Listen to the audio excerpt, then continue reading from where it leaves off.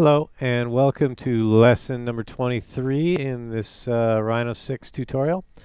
Today we're going to cover the pipe command. Okay, now right now I'm in the top view. I'm going to go ahead and double click on the top view and move over to my perspective view, double click on that and now you can see we have our text over here on the left. We also have a few other things. We have a line or a curve technically as well as uh, two other curves. Okay. Now, what you need to create a pipe, and a pipe is basically exactly what it sounds like, a tube or a dowel. There's also a command called tube. You can look into that if you'd like.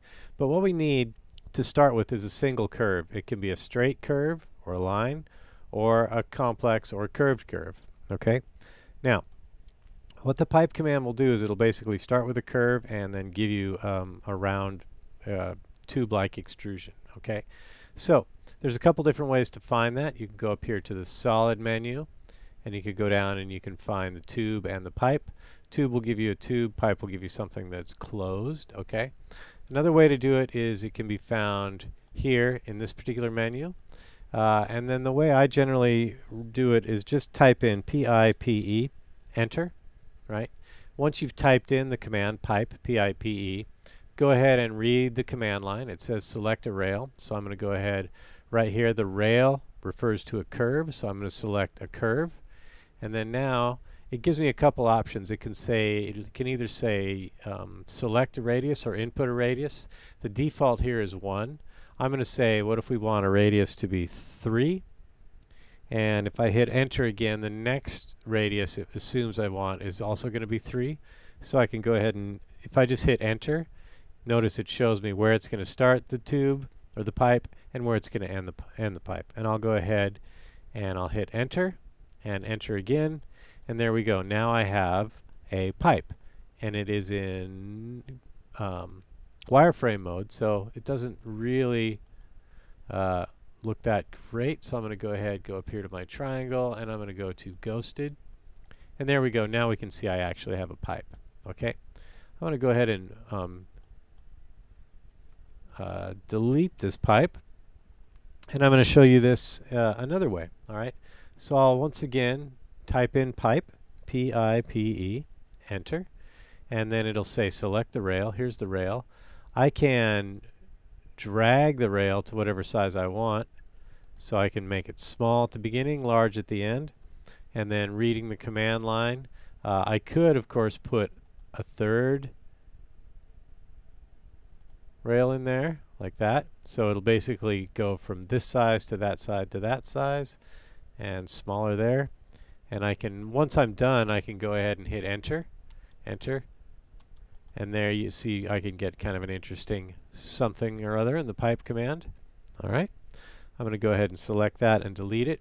I'm going to run that command again and select the rail. And this time my radius, I'm just going to type in 2. And I'm going to hit enter. And before I hit enter again, actually there, I'm going to go ahead and hit enter, and there now it gives me a nice fine 2 uh, inch wide pipe. I'm going to repeat this command, and now it's going to say up here, uh, select the rail. So I'm going to select the rail. And this time where it says cap equals flat, I'm going to type in or select the cap flat and then from there I get an option where I can say none, right? And then if I just hit enter and enter again, I will end up having an open pipe that is uh, two, two inches across. So watch. Now when I hit enter, you can see there I actually have um, an interesting pipe. It's, it is uh, closed, or rather it's open. Okay. Now I'm going to go ahead and get rid of this one, and we're going to run this command again. Select the curve. You can do one of two things. You can select the curve and then run the command, or you can run the command and select the curve.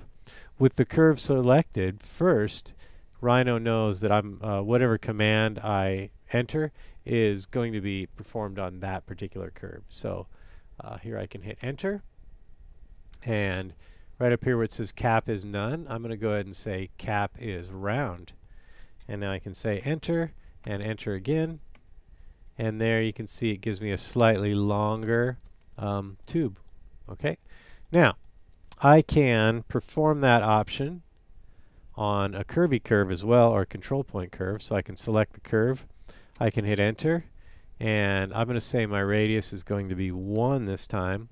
Enter and enter again, and I can get a curvy pipe.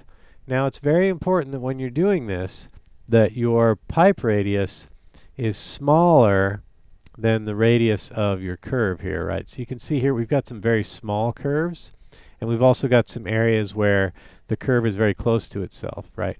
And what's going to happen, it'll run the pipe command, but it's going to intersect, all right? So I'm going to select this curve, and I'm going to hit enter, and enter again, and what's going to happen is we're going to get a bit of a hot mess. Okay, and we did. So it looks pretty good, but you can see right in here, we've got this kink, okay?